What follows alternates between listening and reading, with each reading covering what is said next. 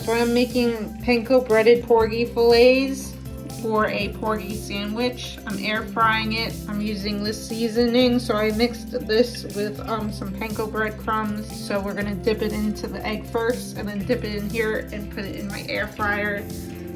So I made a quick tartar sauce while the fish is in the air fryer. I mixed up some light mayo, some relish, and some buttermilk. Pulled the fish out of the air fryer. The smells amazing right now. So I have my sandwich. Fish is really crispy. Tartar sauce is on top.